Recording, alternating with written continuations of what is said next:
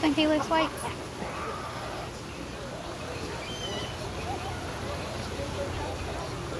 That one's got a perm in his hair.